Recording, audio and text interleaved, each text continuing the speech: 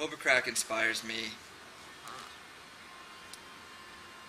I guess for the same reason that it would inspire anybody. You know, um, it's just very aesthetic. Very perfect in every way.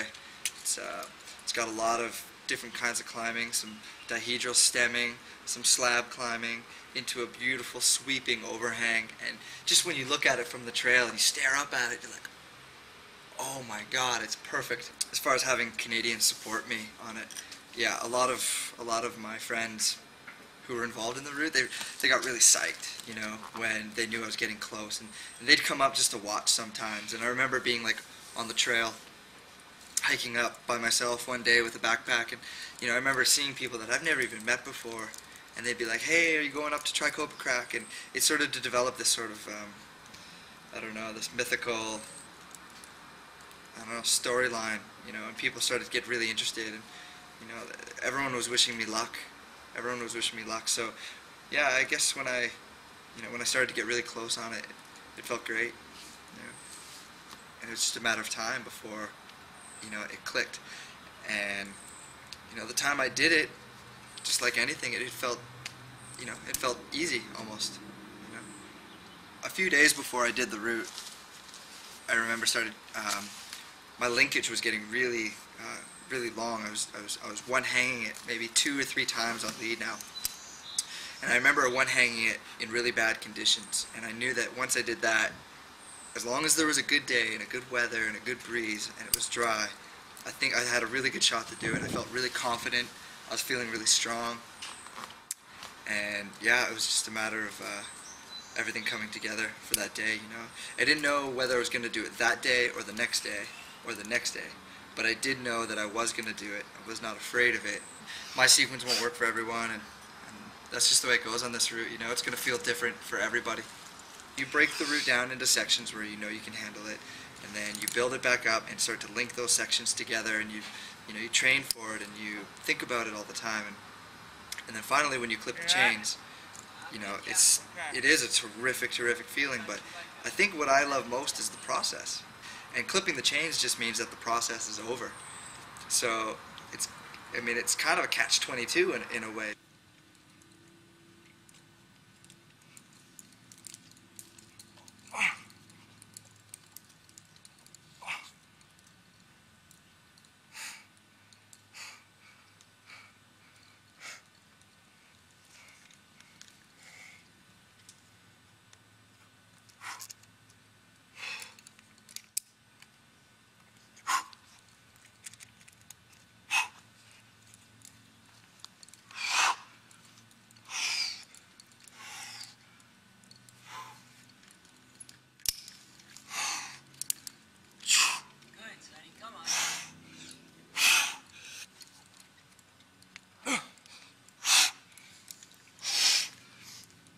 Take.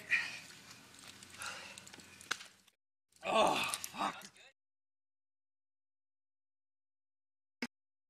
The only thing that separated success from failure was getting that last right hand just before the crux. And if I didn't get it perfectly, the way I had to get it in order to do it, then I would fall off. There was no there was no gray area. There was no try harder. It was just either do it or don't do it. So I, I you know, with that being said, it was, again, it was just a matter of time before I got it just perfect.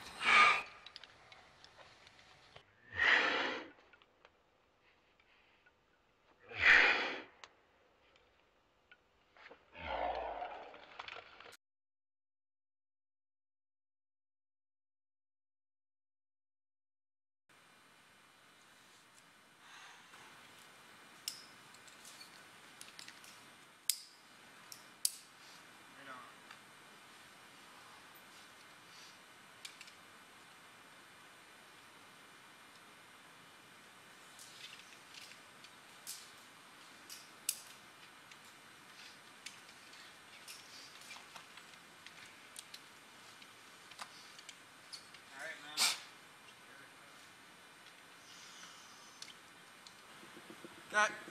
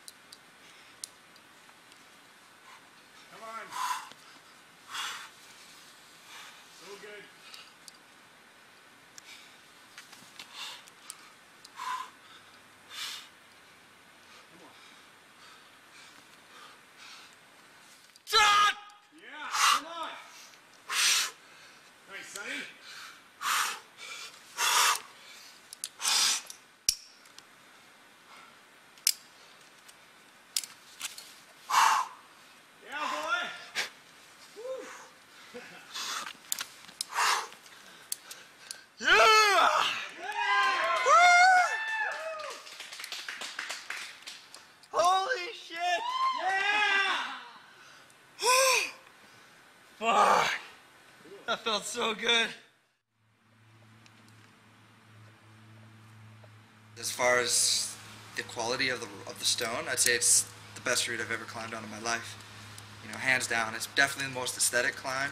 It's definitely the best stone I've ever climbed on. So, I mean, it's it's hard to compare anything to the Cobra Crack. There's nothing in the world like it. There's nothing in the world that looks like it, that climbs like it. It's it's really unique, and it's a, you know, as far as I'm concerned, of what a classic, timeless route is, I believe that that belongs in that category. Like the first ascent, really. I mean, I think anyone will tell you that that's not their their number one goal. You know, when they find a line or a route that they want to do, I think most climbers will tell you that it's really not. It's not the single thing that motivates them to do it. What motivates them to do it is the line itself. So, for me, it didn't matter if it was the first ascent, tenth ascent, or one hundredth ascent. It, that didn't matter to me. What mattered to me was was making a connection with that route, and it's basically just a relationship between a climb and a climber. And you know, so um, I'm pretty psyched that uh, that it's there for me to do. You know, and it's there for everyone to do.